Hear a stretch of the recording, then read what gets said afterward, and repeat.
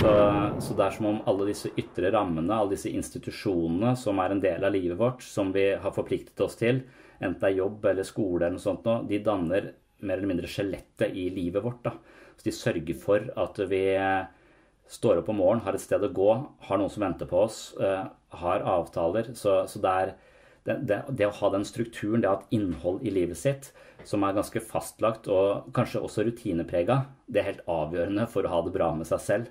Så med en gang vi mangler de rutinene og ikke klarer å etablere nye rutiner, så blir hver ting vi skal gjøre, blir en slags uh, diskusjon med oss selv. Skal jeg stå opp? Hvorfor skal jeg gidde å stå opp? Jeg kan stå opp litt seinere så bruker du 50% av din mentale energi på å drive og gå i dialog med deg selv om hva du skal og ikke skal og burde og ikke burde gjøre. Også, og det er en langsom vei inn i en slags eh, apati og tvil og, og depresjon. Så, så, for min del så ser jeg veldig mange som sliter pga. Eh, at strukturen faller. Og at de ikke klarer å etablere en ny struktur eh, raskt nok.